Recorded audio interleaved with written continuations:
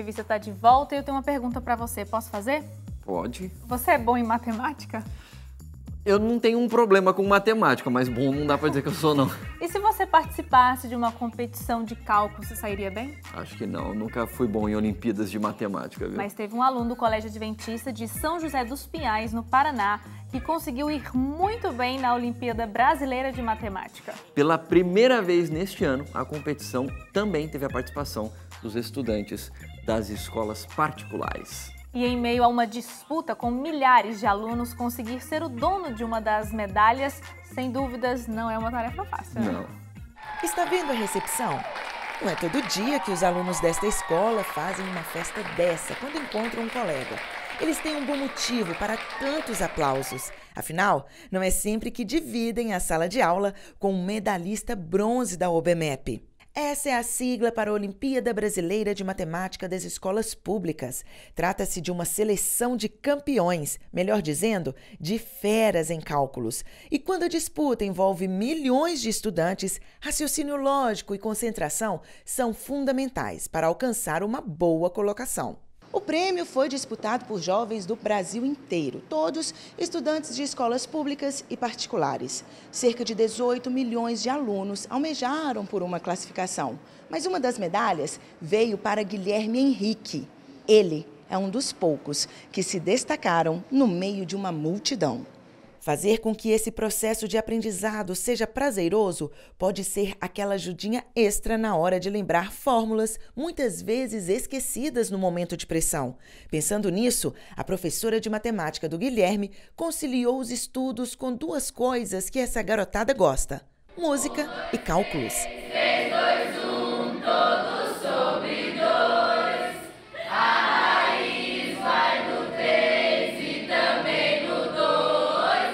Essa é apenas uma das várias dicas que ela dá para quem quer ser um futuro medalhista na Olimpíada de Matemática tem que estudar desde o começo, desde o sexto ano. Os professores têm que incentivar, mostrar para cada aluno o seu potencial, o que puder fazer o algo a mais para eles, as questões de vestibular, de Enem, as próprias questões do PAEB, que é da rede adventista.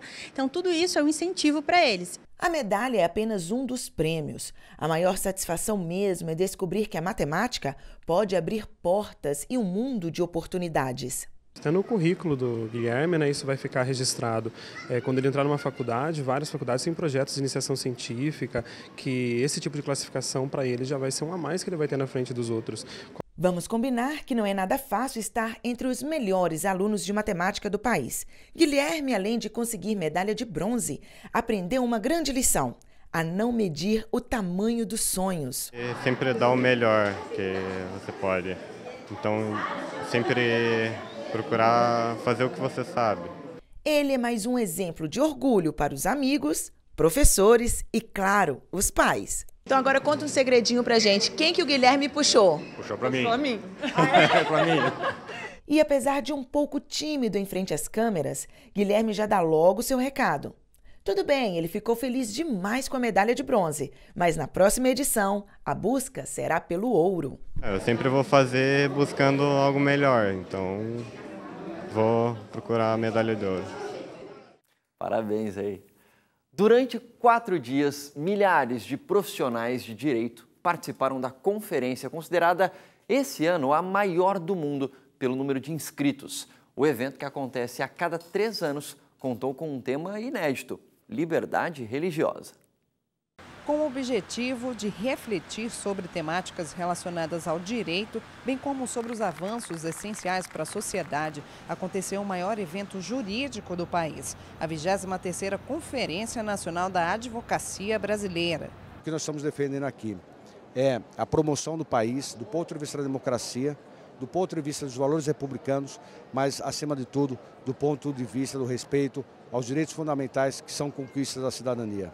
Desde sua primeira edição em 1958, o evento, que é referência para a advocacia, já foi sediado em São Paulo nas décadas de 60 e 70. Este ano, ele retorna à capital paulista e alcança um número recorde com mais de 24 mil inscritos.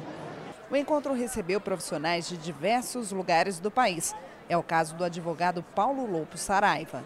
Eu vim de Natal, eu fui conselheiro federal 10 anos Esta é a décima convenção do que eu participo. E confesso a você que foi a melhor, a mais bem organizada, a que teve os temas mais atualizados e a que, e a que vislumbrou novas perspectivas para o Brasil. Divididos por painéis, grandes temas de interesse público foram apresentados. E pela primeira vez na história da conferência, uma atenção foi reservada ao direito à liberdade religiosa.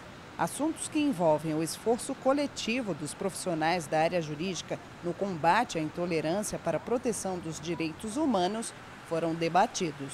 E estes advogados, eles podem assumir um papel, se qualificados, para aplicar o direito à liberdade religiosa com adequação, participando desse esforço generalizado de garantir um direito tão caro à dignidade humana.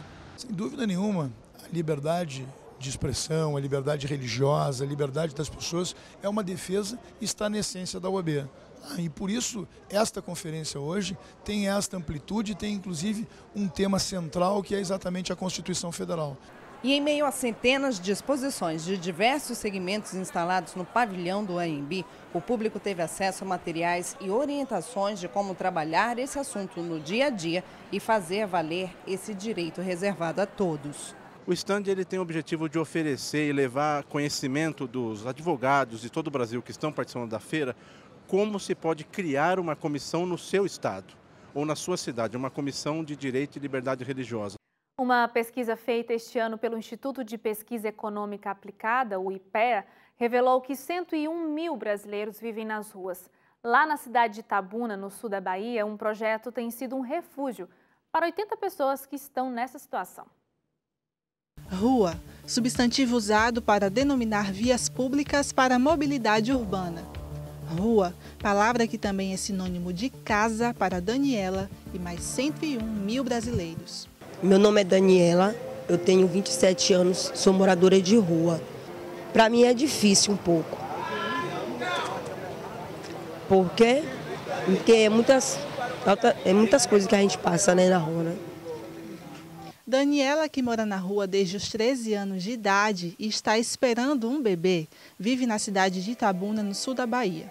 Há um ano, o município ganhou o projeto Olho da Rua, que possui um espaço de assistência para pessoas em situação de rua e tem feito a diferença na vida de muita gente, inclusive na dela. O principal objetivo é resgatar a dignidade dessas pessoas, né? mesmo que não seja num todo, mas pelo menos um dia que é o dia de sábado, né, eles, aqueles é, se sentem com a dignidade resgatada, né? Daniela, que antes tomava banho em um rio que fica na cidade de Itabuna, hoje, através de uma iniciativa de um grupo de adventistas, ela pode desfrutar pelo menos uma vez na semana de um banheiro de verdade. Aqui o Olho da Rua é um lugar que é para todos nós, né? Para qualquer um de nós que convive na rua, né? E aqui o que o respeito daqui que eu acho, acho um lugar bom aqui, porque aqui tem como a gente se servir, né? Aqui tem um almoço para a gente almoçar, tem um banho para a gente, tem enfermeiro, tem acompanhamento, tem tudo. O projeto que funciona no centro da cidade todos os sábados atende em média 80 pessoas por semana. E todos os serviços que a Daniela contou para a gente são preparados por voluntários como a Sueli e a Ana Si. Eu gosto muito de cozinhar, então a cozinha sempre fala, né? Cozinha como se fosse para a gente mesmo. O almoço aqui, a refeição é preparada como se fosse para nossa casa. Eu me sinto convidada como uma oportunidade de olhar para esse meu irmão, com exercitando o olhar de Jesus para comigo. É assim que eu me sinto. Me sinto presenteada. E todo esse cuidado é reconhecido. Eu sinto por elas o mesmo que ela sente por a gente, um fato de, dar atenção, carinho, amor para a gente.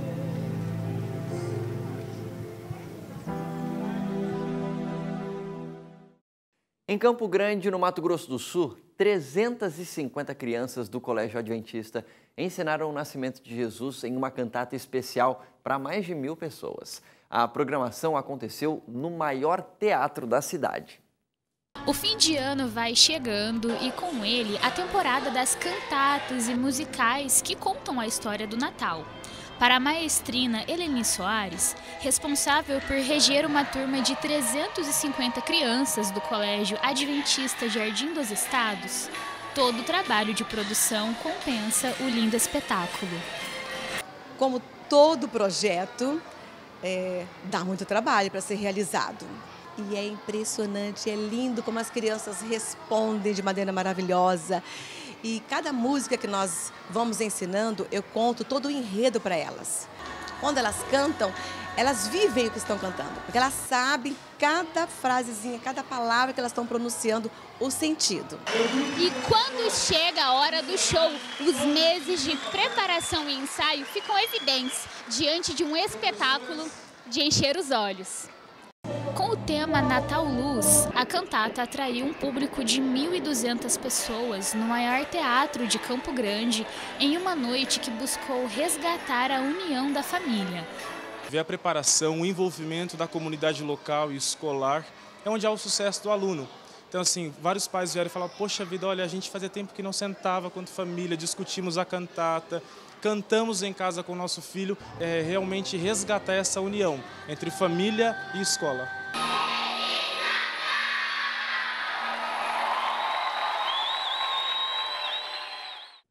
Muito bonito, né, Leite? Uhum. E é nesse clima que a gente encerra o programa de hoje, viu? É, mas você pode acessar o nosso blog novotempo.com/barra jornalismo. E tem ainda as nossas redes sociais, facebook.com/barra ntjornalismo e arroba ntjornalismo no Instagram. E é claro, a gente não pode esquecer dos nossos parceiros da comunicação, noticias.adventistas.org, revistaadventista.com.br e news.adventist.org. Dito isso, vamos nos despedir então, né, Leite? A É gente se isso vê na mesmo. próxima semana. E a você de casa, muito obrigada pela companhia. Tchau, tchau. Um bom final de semana para você. Até semana que vem. Tchau, tchau.